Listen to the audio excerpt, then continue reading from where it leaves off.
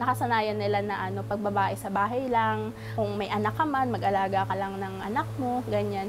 Pero ngayon kasi parang mas rumarakit na yung mga babae, di ba? Parang mas gusto nila kumikita sila, gusto nila gumagalaw sila. The pandemic brought losses in more ways we can imagine jobs, income, businesses, and opportunities. There's a whiff of uncertainty, the lingering fear of getting the disease. It's still far from over, but how can we start anew? In 2017, Grameen Foundation launched Women Link, a three year program supported by Wells Fargo. Women Link aims to empower women from poor and low income households through digital financial services. Under the program, women are trained as community agents through digital learning modules on finance and entrepreneurship with the help of financial technology partners. In 2020, more women from around the Philippines became part of Women Link. New and existing community agents were further trained to be capable of providing professional services. Considering the COVID 19 pandemic, WomenLink provided 5,000 pesos for a select number of community agents as liquidity support to address the needs of their agency business.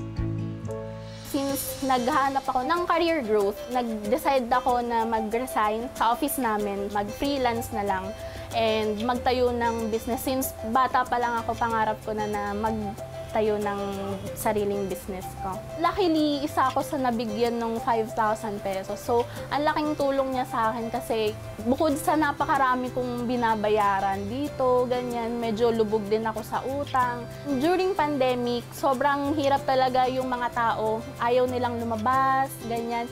So, ang laking tulong ni Posible kasi lalo na yung mga friends and families ko, magta-text lang sila sa akin, pabayad naman ako and ayun, sobrang easy lang sa kanila kasi magta-transfer lang sila sa akin ng bayad, di na nila kailangan lumabas or pumila.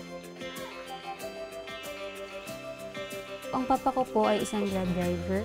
So, nung nag-start po yung pandemic, as in total na walang biyahe, yung papa ko nagstay dito ng 6 months. Nung lockdown po, dito kaming lahat nag stay Lahat po walang trabaho. Lumapit yung Grab sa amin na meron kaming program na tutulong sa mga low income ng mga babae na magkaroon ng business kahit nasa bahay lang sila.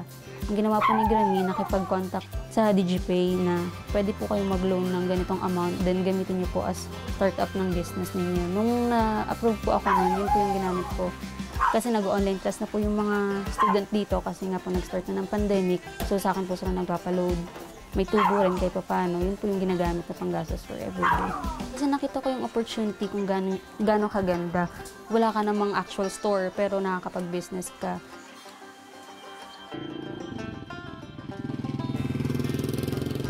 Nung buhay pang asawa ko, okay lang. Pero nung namatay na siya, siyempre, hirap dahil anim sila. Wala naman akong trabaho sa bahay lang. Kung ano-ano nga mga sidelines ang ginagawa ko para kumita. Nagsari-sari store din ako ng mga ibon-ibon, mga ganon, kung anong mga commission basis na sinasalihan ko. Nabalaan ko ang Women Link program through SEPDEC, no? Kay sila man ang nagpasulod uh, sa akong diri sa sa Paymaya. Naging interesado ako kasi may mga bulig, mga kapital nga ihatag. Tapos, siyempre sa komisyon lang, makita mo na kikita ka talaga.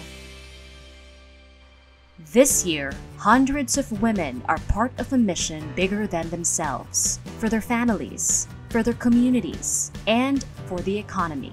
These women are the hope of a future where more Filipinos have access to digital financial services. We believe in a future where women are empowered to make their own financial decisions and be catalysts for change. Yung magkaroon ka ng business at early age, napakaganda kasi syempre natututo ka on yourself na bibigay mo yung knowledge mo sa iba tapos empowering syempre kasi okay, I can stand on my own. Hindi ko kailangan mag-rely sa ibang tao kasi kaya ko naman tumayo sa sarili ko pa.